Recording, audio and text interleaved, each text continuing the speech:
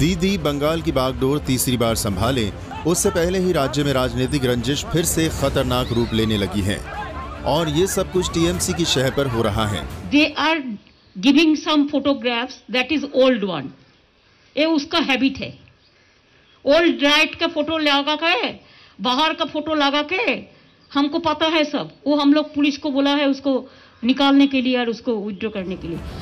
मानवाधिकार आयोग की कमेटी ने पश्चिम बंगाल में चुनाव बाद हिंसा की स्थिति को कानून के शासन की जगह शासक के कानून का प्रदर्शन करार दिया है। सीबीआई से जाँच की मांग कराने की बात रखते हुए कमेटी ने अपनी सिफारिश में कहा है कि इन मामलों में मुकदमा राज्य से बाहर चलाया जाए।